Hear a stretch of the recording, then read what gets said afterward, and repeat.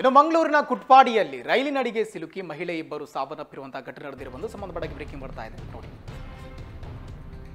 ಕುಟ್ಪಾಡಿಯಲ್ಲಿ ರೈಲಿನಡಿಗೆ ಸಿಲುಕಿ ಮಹಿಳೆ ಇಬ್ಬರು ಸಾವನ್ನಪ್ಪಿದ್ದಾರೆ. ಮಂಗಳೂರು ಹೊರವಲಯದ ಮಹಕಾಳಿ ಪಡ್ಪು ಬಳಿಯ ಕುಟ್ಪಾಡಿ, ಬೆಳಗಿನ ಜಾವ ರೈಲ್ವೆ ಟ್ರ್ಯಾಕ್ ಕ್ರಾಸ್ ಮಾಡುವಾಗ ನಡೆದಿರುವಂತಹ ಅವಘಡ ಇದು.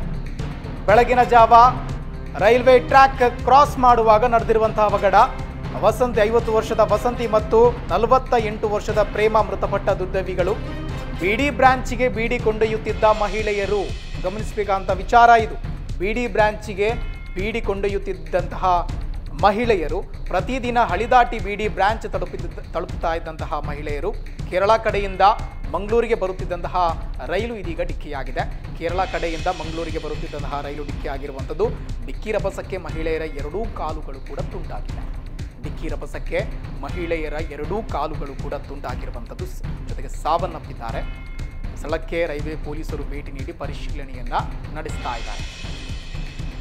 ಬೀಡಿಗೆ ಬೀಡಿ ಕೊಂಡೊಯ್ಯುತ್ತ ಕೊಂಡೊಯ್ಯುತ್ತಿದ್ದಂತಹ ಮಹಿಳೆಯರು ಪ್ರತಿದಿನ ಕೂಡ ಹಳಿಯನ್ನ ದಾಟಿ ಅವರು, ಆ ಬಿಡಿ ಬ್ರಾಂಚ್ಗೆ ಹೋಗ್ತಾ ಇದ್ದರು ಇವತ್ತು ಬೆಳಗ್ಗೆ ಕೇರಳ ಕಡೆಯಿಂದ ಮಂಗಳೂರಿಗೆ ಬರ್ತಾ ಇದ್ದಂತಹ ರೈಲು ಅವರಿಗೆ ಡಿಕ್ಕಿ ಹೊಡೆದಿದೆ. ಆ ಡಿಕ್ಕಿಯ ರಭಸಕ್ಕೆ ಮಹಿಳೆಯರ ಎರಡೂ ಕಾಲುಗಳು ಕೂಡ ತುಂಡಾಗಿದೆ. ತುಂಡಾಗಿ ಎರಡೂ ಮಹಿಳೆಯರು ಕೂಡ ಸಾವನ್ನಪ್ಪಿದ್ದಾರೆ. ಸ್ಥಳಕ್ಕೆ ರೈಲ್ವೆ ಪೊಲೀಸರು ಭೇಟಿ ನೀಡಿ ಪರಿಶೀಲನೆಯನ್ನ ನಡೆಸ್ತಾ ಇದ್ದಾರೆ.